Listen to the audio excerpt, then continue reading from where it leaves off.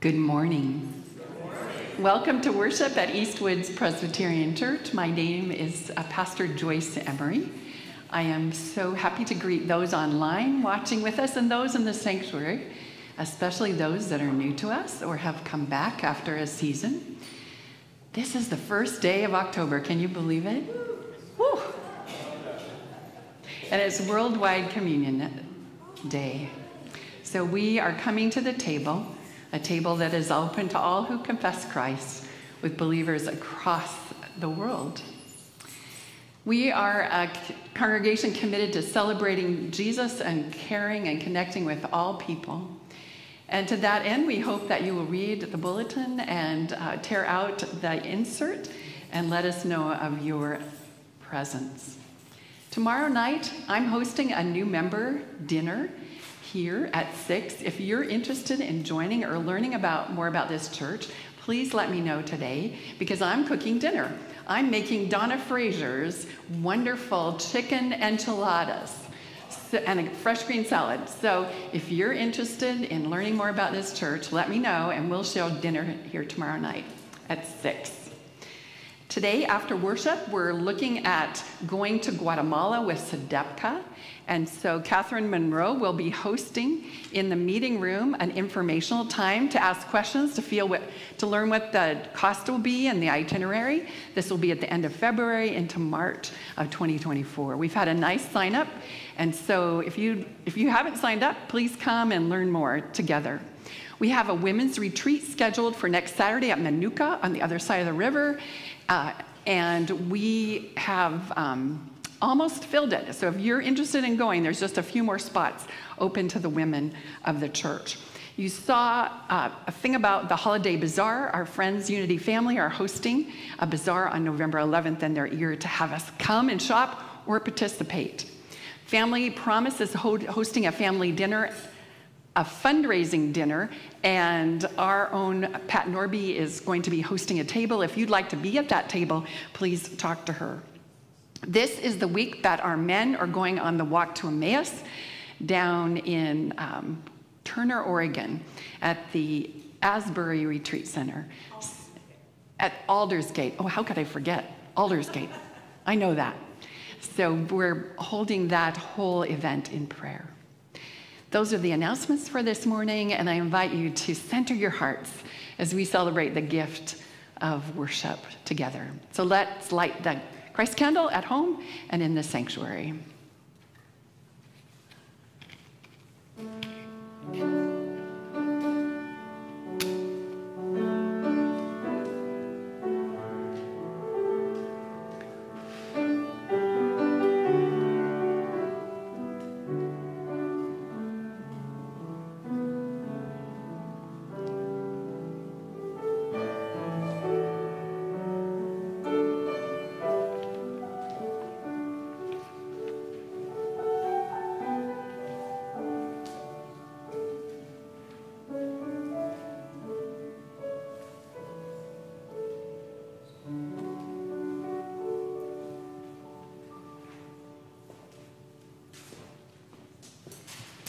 Please stand as you are able for the call to worship.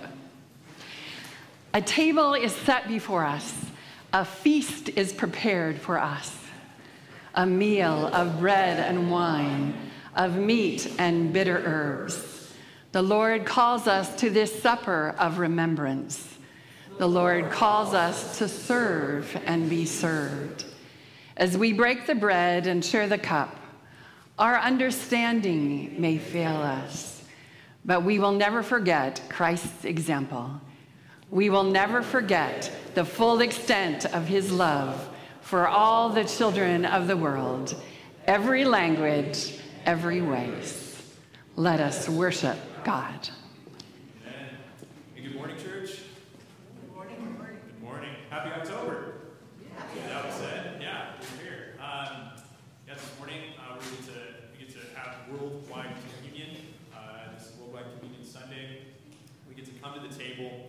So together this morning, we get to sing um, about our great God who loved us so much that he gave us his only Son, right? So that we shall live uh, an eternal and an everlasting life with him. So let's sing that. Let's come to the table as we sing God So Loved.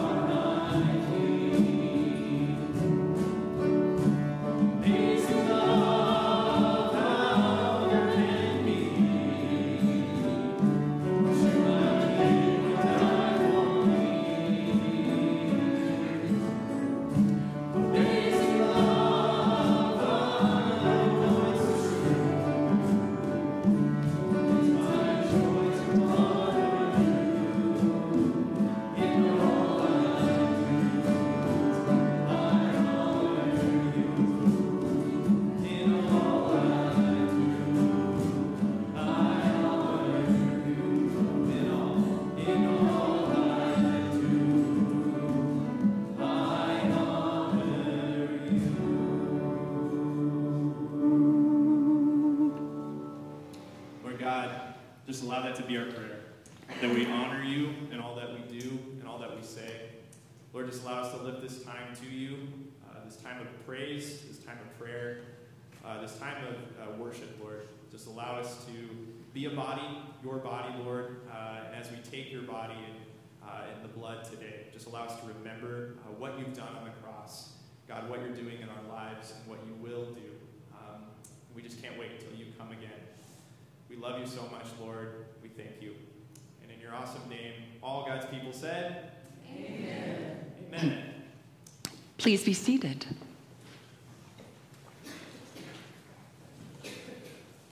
As we claim God, King of all our lives, it means that we need to confess the places in our lives where we don't want to turn over.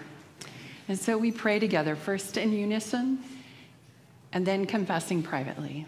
Let us pray. Loving Christ, on that night long ago, you knew that your hour had come. You knew full well what lay ahead of you. Your disciples loved you and followed you, but they had also failed you. They would fail you yet again that night, and one would be betray you. Yet you washed their feet as a servant would, even the feet of your betrayer. We have also loved you and followed you. We have also failed you, and we cannot comprehend the love that you show us, the love that is our example, the love that tells us to do as you have done for us. May we be like you, Master, servants of all. May all see how we long to be your faithful disciples. May all see how we love each other, just as you have loved us. In your holy name we pray, and in silence.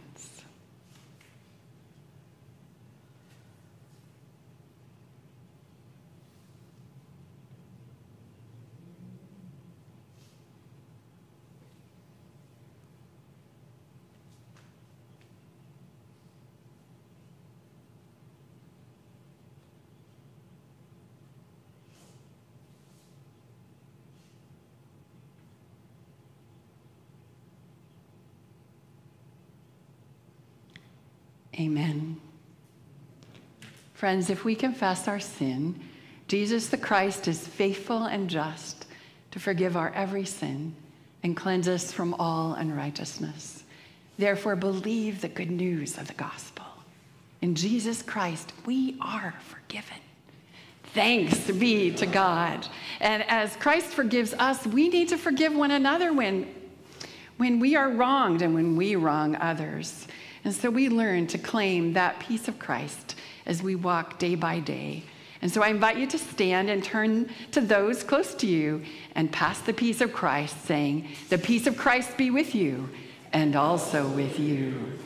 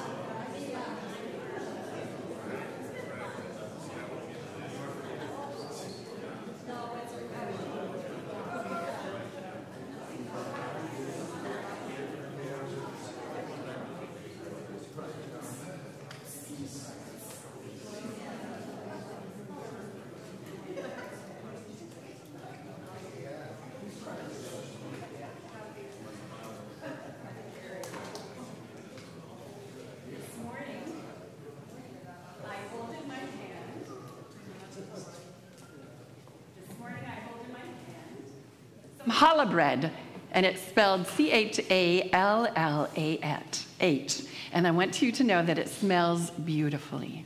It smells beautiful, wonderful. And our Jewish friends love challah bread, and they use it for almost every festival and feast. And they just celebrated Rosh Hashanah on uh, September 12th through 17th. We have uh, Kol Ami, our Jewish friends, just up there on um, 119th. Uh, rabbi Elizabeth is their uh, rabbi. And um, when they celebrate these feasts like Rosh Hashanah, Rosh Hashanah, where you celebrate the new year for the Jewish people, celebrating when God created Adam and Eve, people love to share this bread. You see, bread has been an important part of these celebrations, including Passover. And today we're reading the story of Jesus gathering his, with his disciples in the upper room and celebrating Passover. And they would not have eaten this fragrant uh, loaf of bread because they at Passover were telling the story of the time when the people were in bondage in Egypt. And finally, Pharaoh said, Get your people out of here. And so they gathered all their things and they quickly got out of Egypt and left for the promised land. And because they could not let the bread rise at a Jewish Passover meal, they eat matzah bread, matzah crackers. These are pretty awful. but we brought some extras, so you could taste them today during um, our refreshment time.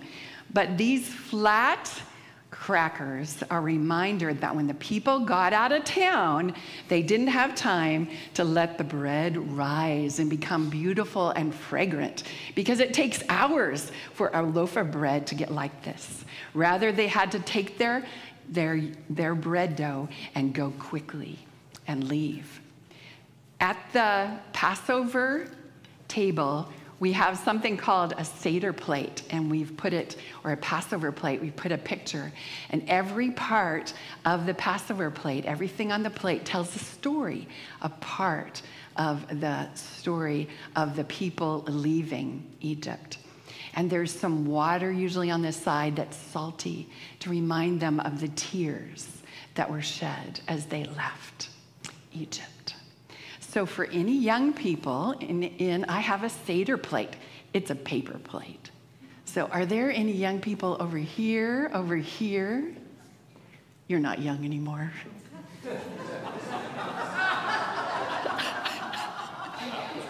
I know that was cold and cruel. There might be a young person by Maria. So here's um, a Seder plate. It's really fun to look at the various foods on the Seder plate that remind us. And that's the Passover meal. Thank you for listening so carefully.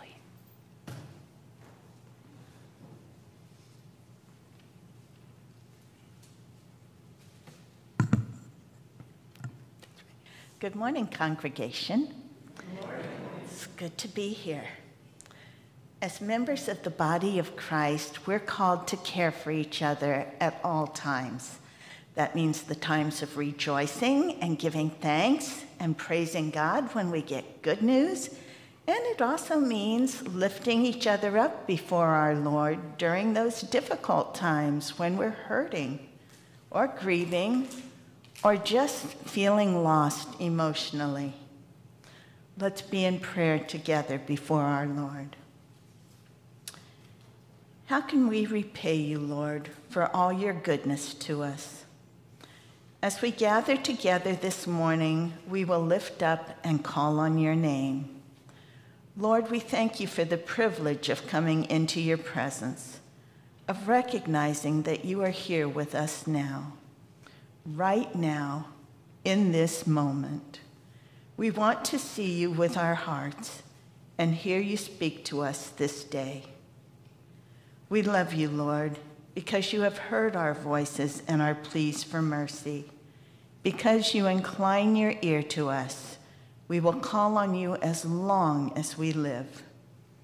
We all have made choices that have taken us away from your ideal for us, Lord. We've decided to go it on our own, to be self reliant to the extent that we ignore your call to us to be like Christ. Our sin, all sin, results in death, and we die a little inside every time we ignore the voice of the Spirit. The snares of death encompassed us, the pangs of mourning laid hold on us. We suffered distress and anguish. Then we called on your name, Lord. O oh Lord, we pray, deliver our souls.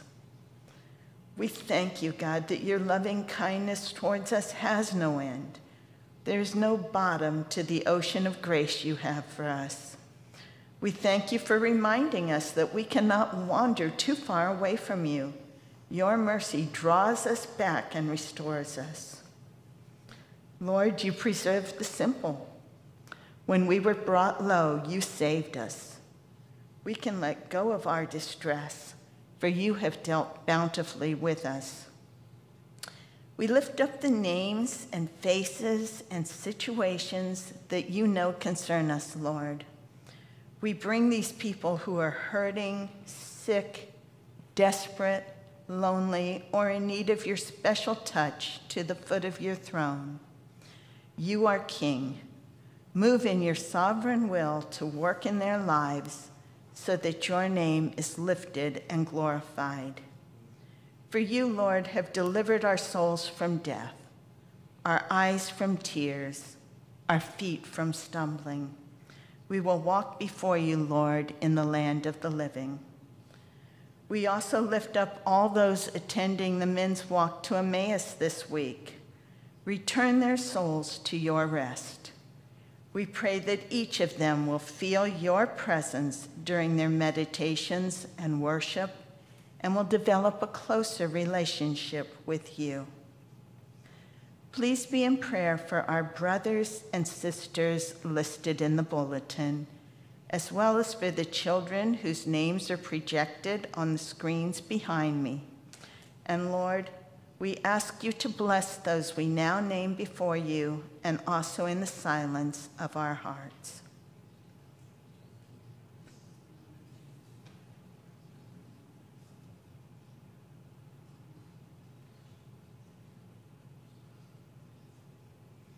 Into your hands, O God, we commend all those for whom we pray. In the name of the one who reconciled all creation to himself Jesus Christ, our Savior. And now I ask that you join me in the prayer that Jesus taught us, saying, Our Father who art in heaven, hallowed be thy name. Thy kingdom come, thy will be done, on earth as it is in heaven. Give us this day our daily bread, and forgive us our debts as we forgive our debtors. And lead us not into temptation, but deliver us from evil. For thine is the kingdom, and the power, and the glory forever. Amen.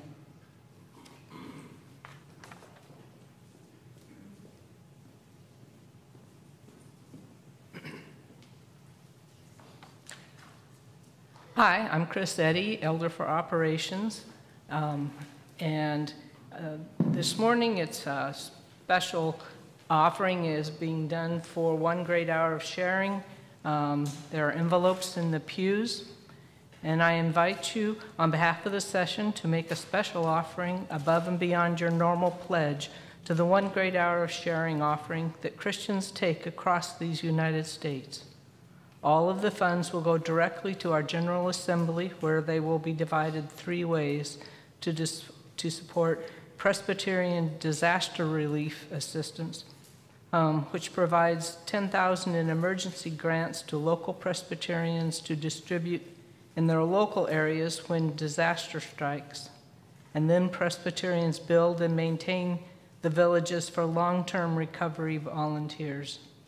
The Presbyterian Hunger Fund which gives grants across the nation to local Presbyterians to alleviate hunger issues, and the Self Development of People Fund, which gives grants to self-governing entrepreneurial efforts to build sustainable businesses. There's an envelope you can use. It says Global Witness Offering, but will go to one great hour of sharing. Thank you. And if the ushers will come forward, please. We'll pray. Our God, our gifts are so minute in comparison to your bounty. Transform our simple offerings into ministries that quench parched lives with the water of eternal life. Nurture our need to share your water and your spirit through the gifts that you have given us so freely. In Jesus' name we pray. Amen. It's there.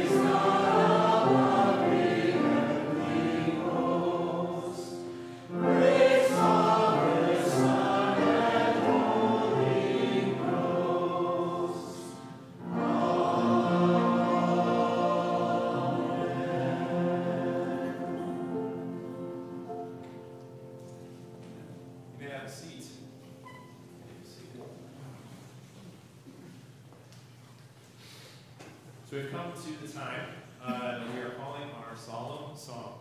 Uh, and this week, or this today, and our focus is on Psalm 116. And it's fitting that we're looking at Psalm 116 this morning uh, as we take communion. Uh, there is uh, an arrangement of the text uh, that we will sing, and it is called Our Blessing Cup, is a communion. So we will be singing that together, and playing that together. So just bask in the text. Uh, if you would like, you can take out your Bible to have it ready, because we will read the text together after this. So, blessing cup.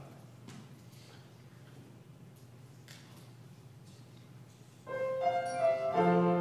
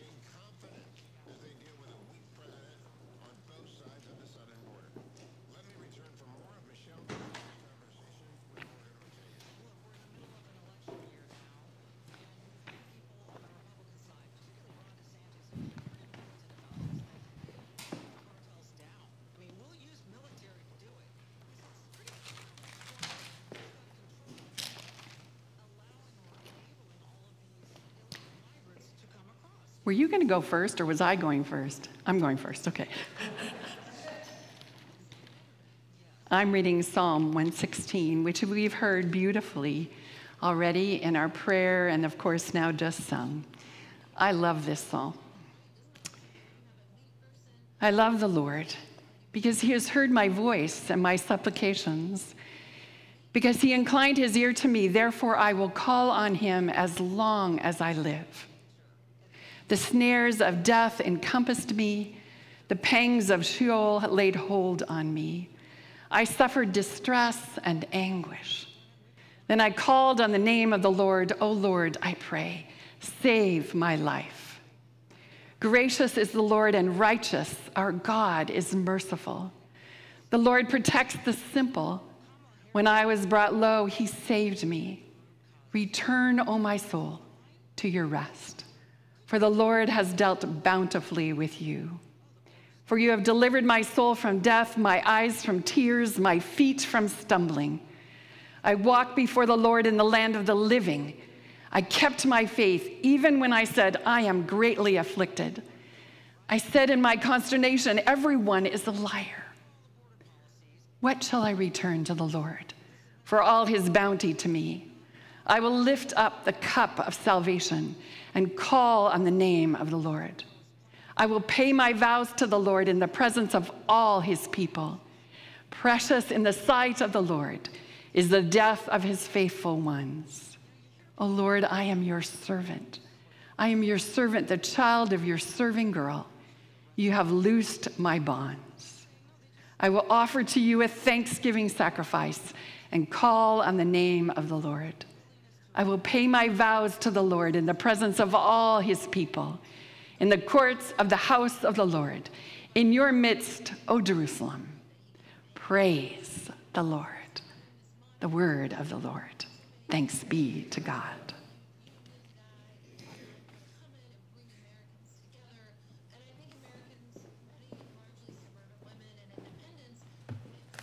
It's my privilege to be reading from John chapter 13, verses 1 to 15.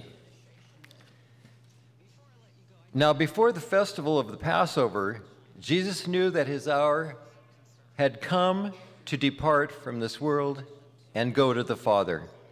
Having loved his own who were in the world, he loved them to the end. The devil had already put it into the heart of Judas, son of Simon Iscariot, to betray him.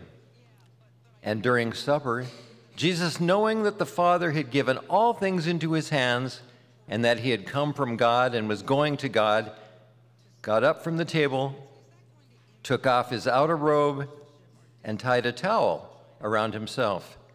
Then he poured water into a basin and began to wash the disciples' feet and to wipe them with the towel that was tied around him. He came to Simon Peter, who said to him, Lord, excuse me, you are going to wash my feet? Jesus answered, You do not know now what I am doing, but later you will understand. Peter said to him, You will never wash my feet. Jesus answered, Unless I wash you, you have no share with me. Simon Peter said to him, Lord, not my feet only, but also my hands and my head. Jesus said to him, One who has bathed does not need to wash, except for the feet, but is entirely clean. And you are clean, though not all of you. For he knew who was to betray him. For this reason, he said, Not all of you are clean. After he had washed their feet, had put on his robe, and had returned to the table, he said to them, Do you know what I have done to you? You call me teacher and Lord, and you're right, for that is what I am. So if I, your Lord and teacher, have washed your feet, you also ought to wash one another's feet. For I have set you an example that you also should do as I have done. May the Lord bless this reading of his holy word. Thanks, Thanks be to God. be to God. Fast food or grab and go are new concepts in our age. I bet that every single one of us in this room would have grandparents, well, maybe not everyone, but would have grandparents who have no idea what we're talking about when we use the term fast food. What's that? Or a grab and go section of the super, supermarket or a restaurant. I sense that modern day supermarkets would confound many of our grandparents. Often they confound me. But you and I are often used to eating on the run these days. And eating on the run was unthinkable to the ancient Hebrew people. Meals were to be treasured and the time sacred. So when Moses ordered the Hebrews to flee, to miss a meal, to not wait for the bread to rise, this was an atrocity. Grab and go for them meant tears and losing everything for promised freedom.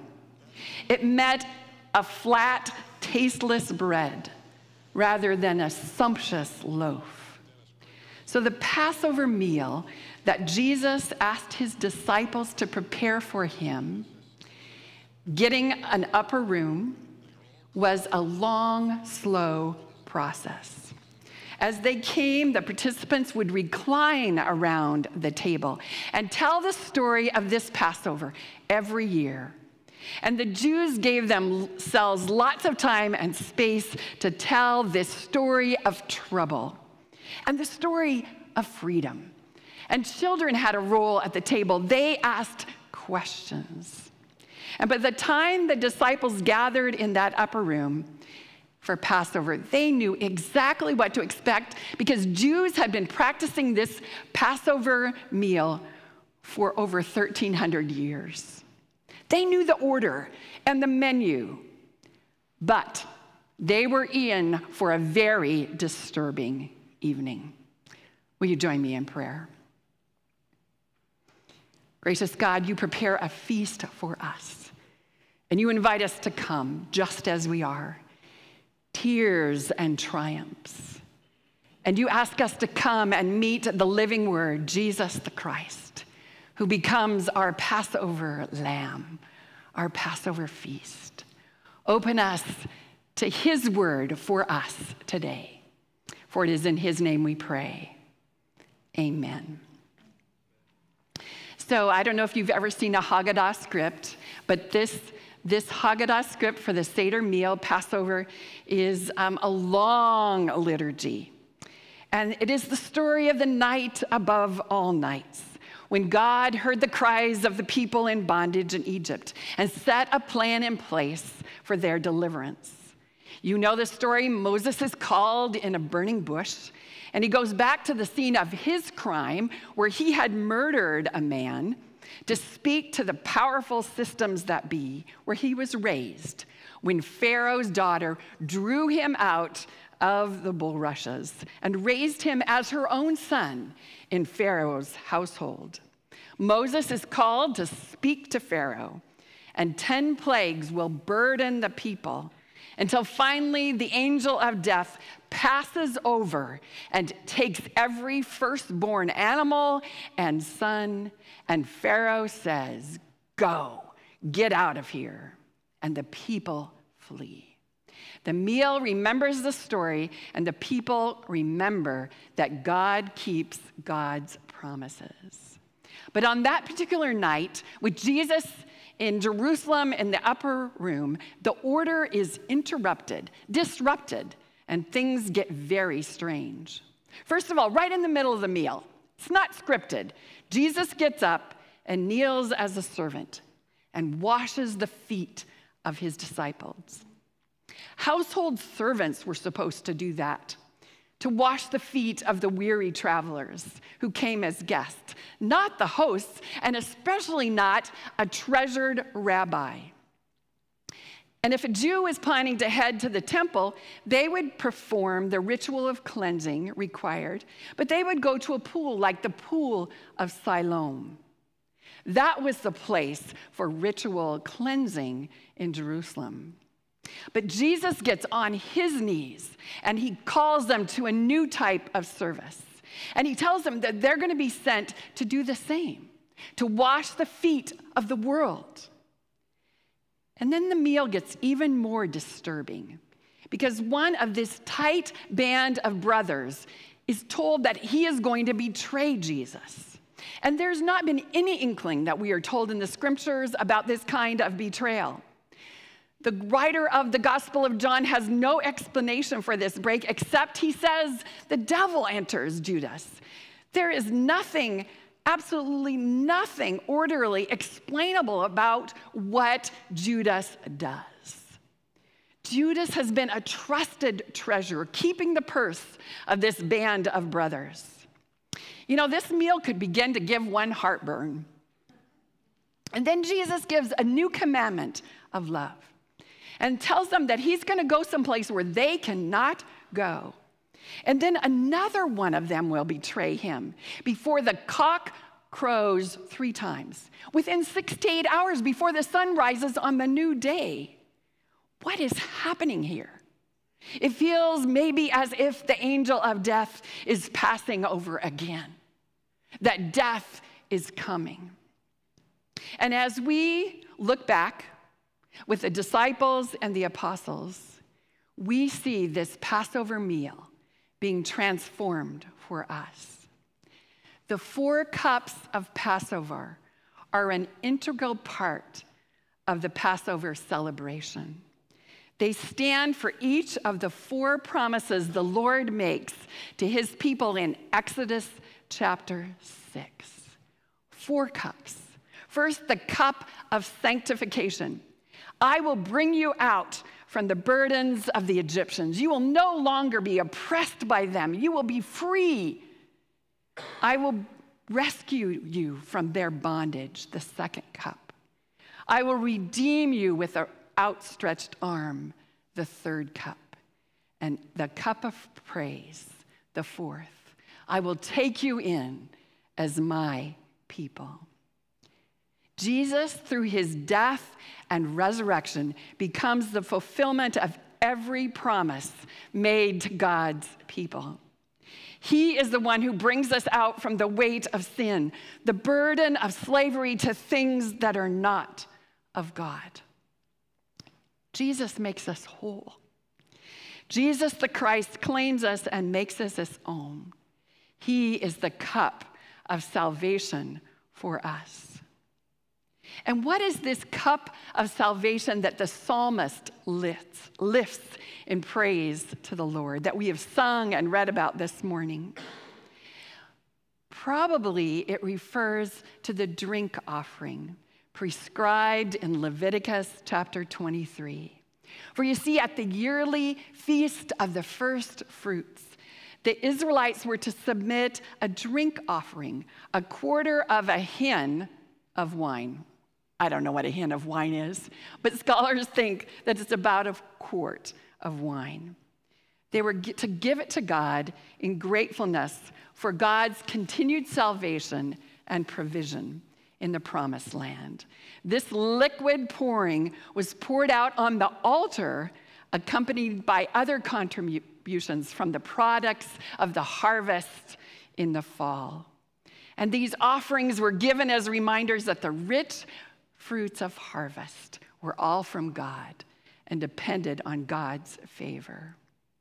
Drink offerings were frequently presented in the Bible to thank God for salvation. After the Lord appeared to Jacob at Bethel and changed his name to Israel, Jacob set up a stone pillar to mark where God had met him and wrestled and spoke with him. And he poured a drink offering over it, says Genesis 35. At the ordination of priests, a drink offering was presented. And in the New Testament, the Apostle Paul compared his sacrificial ministry to an act of worship. I'm quoting Philippians chapter 2. But even if I am poured out like a drink offering on the sacrifice and service coming from your faith, I am glad and rejoice with you all. In the face of death, Paul told Timothy in 2 Timothy 4 I am being poured out like a drink offering, and the time for my departure is near. This cup of salvation is also suggestive of God's good gifts to humans, which David extolled in Psalm 23. You prepare a feast for me in the presence of mine enemies. You anoint my head with oil, and my cup overflows with blessings. The psalmist loves the Lord because God has heard every word, every request. God knows us, God hears us, even when death is all around us, and even when our life is interrupted with troubles we never expected. God is gracious and righteous and merciful. Sometimes when I crawl into bed at night, I, I oh, well, I always, every time I crawl into bed at night, I think about what has happened that day and I give thanks to the Lord. But sometimes I crawl into bed at night and go, I never guessed what was going to happen today. This day was full of surprises that I never could have expected. Thank you, Lord, for being with me, for being with the people I love through all the challenges of life. So, one more time. For you have delivered my soul from death, says the psalmist, my eyes from tears, my feet from stumbling. I walked before the Lord in the land of the living. I kept my faith even when I said, I am greatly afflicted. What shall I turn to the Lord for all his bounty to me? I will lift up the cup of salvation and call on the name of the Lord. So, as we come to this communion table, we come from the vantage point of the Passover meal, the Last Supper. For us, this table is never an altar, it is a holy table where all are welcome until everyone gets to the table who needs to be here. And when the last person comes, we believe that Christ, the Messiah, will return in glory for us. We call that the second coming. A millions of believers share this feast around the globe on this World Communion Sunday.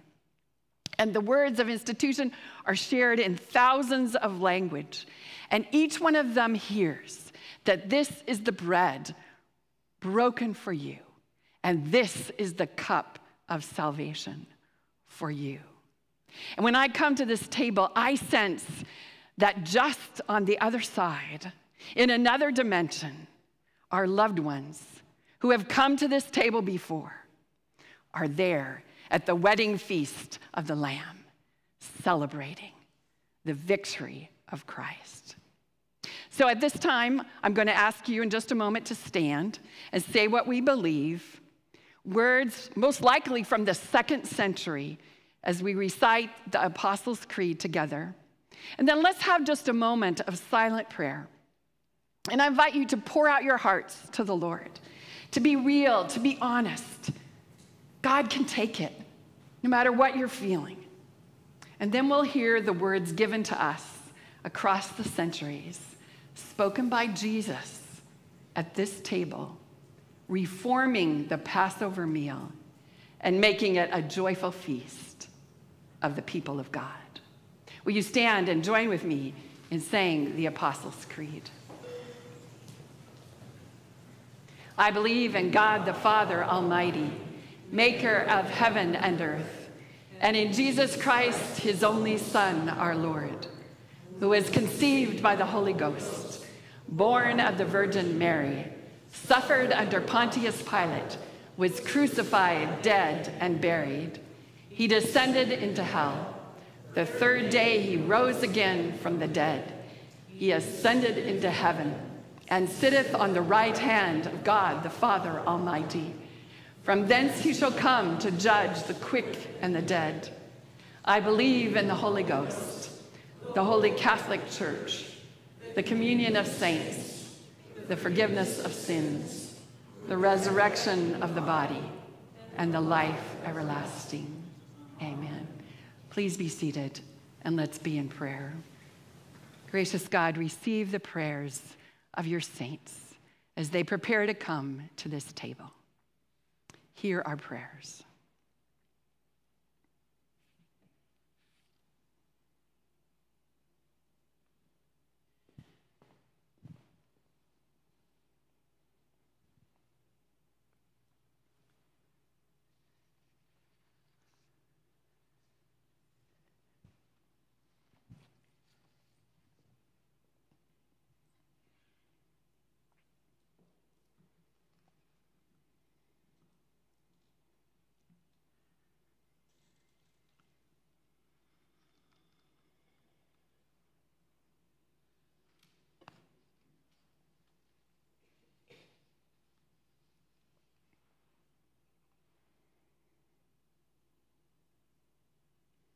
Amen. Friends, this is the joyful feast of the people of God. Men and women will come from north and south, east and west to sit at this table in the kingdom of heaven. Our Savior invites all those who trust in Him to come to this feast and be fed. There will be hosts that will come forward in just a moment, and we're going to invite you to come down the side aisles and take the elements and return to your seats where we will share and drink the bread and the cup together. If you are not comfortable coming forward, I have the privilege of coming to you and bringing the elements to you. Let us pray the great prayer of thanksgiving. The Lord be with you and also with you. Lift up your hearts. We lift them up to the Lord. Let us give thanks to the Lord our God. It is right to give our thanks and praise. It is right and a good and joyful thing, always and everywhere, to give thanks to you, Almighty God. For you are the creator of heaven and earth. You made every one, every nation, every people to live on the face of this earth. And so, with your people on earth and the company of heaven, we praise your name. Holy are you, and blessed is your Son, Jesus Christ. By the baptism of his suffering, death, and resurrection, you gave birth to your church, delivered us from slavery to sin and death, and made us new with a new covenant by water and the Spirit. He commissioned us to be his witnesses to the ends of the earth and to make disciples of all nations. And today, the family of Christ joins together at this holy table. And so, in remembrance of all your mighty acts in Christ, we offer ourselves in praise and thanksgiving as a holy and living sacrifice in union with Christ's offering for us. And we proclaim the mystery of faith, saying that Christ has died, Christ is risen, Christ will come again. Pour out your Holy Spirit on us gathered here and on these gifts of bread and wine Make them be for us the body and blood of Christ, that we may be for the world the body of Christ, redeemed by his blood. Renew our communion with Christ throughout the world. All honor and glory is yours, Almighty Father, now and forever. Amen. We recall that on the night of his arrest, Jesus took bread, and after giving thanks to the Father, he broke the bread, saying, This is my body, broken for you. Do this in remembrance of me. And the same way after supper, he took the cup, saying, This is the cup of the new covenant, sealed in my blood for the forgiveness of sins. And so, whenever we eat this bread and drink this cup, we proclaim the saving death of the risen Lord until he comes again. The gifts of God for the people of God. The feast is ready. I invite those serving to come forward.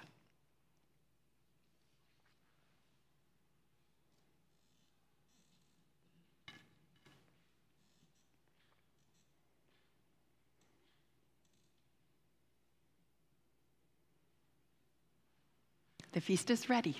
Come.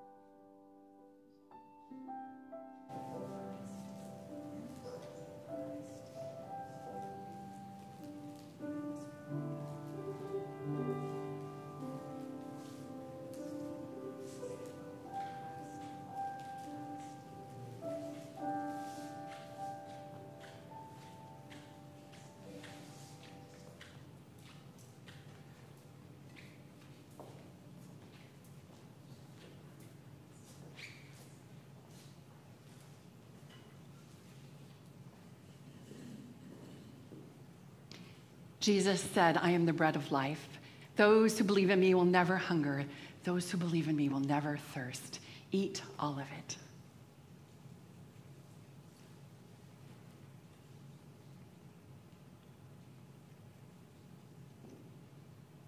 Jesus said, I am the vine, you are the branches. Cut off from me, you can do nothing. Drink all of it.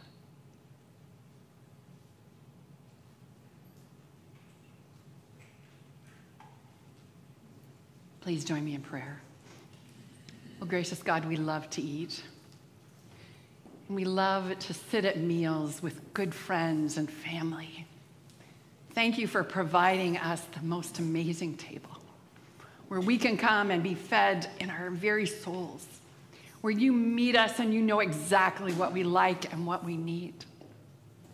So, as we prepare to rise from this table, give us a heart to love you more and to look at the world through your eyes and to be people who serve one another, maybe even washing a foot or two, or helping someone in a wheelchair, or helping a needy neighbor. Oh God, make us be ready to serve in Jesus' name as he has served us. Amen.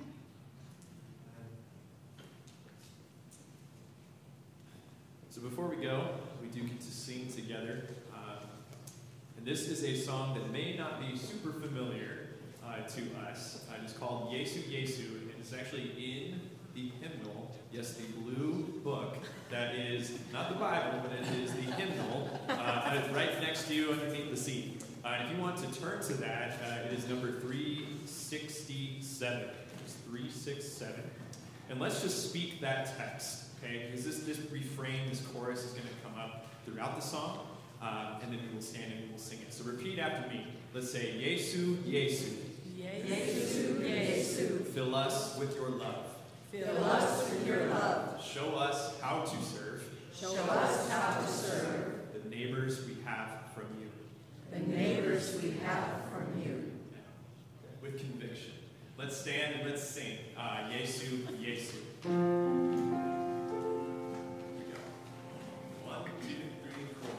Yesu.